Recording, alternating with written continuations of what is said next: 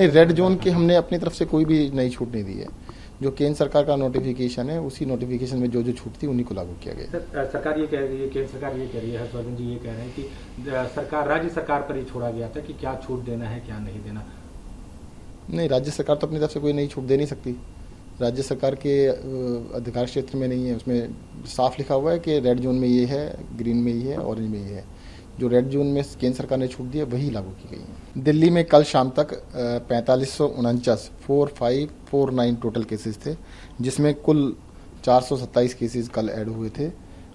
तेरह सौ बासठ लोग ठीक हो चुके हैं वन थ्री सिक्स टू और टोटल अभी तक सिक्सटी फोर डेथ हुई हैं, कल कोई इसमें ऐड नहीं हुई थी।